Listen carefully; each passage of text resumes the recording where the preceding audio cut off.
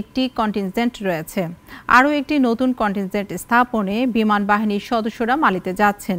এই কন্টিনজেন্টের নেতৃত্বে আছেন group captain ATM Irfanul Rahman. মালিতে সংঘাত নিরসনে বাংলাদেশ বিমান বাহিনীর দক্ষতা, পেশাদারিত্ব ও আন্তরিকতার পরিচয় রেখে যাচ্ছেন।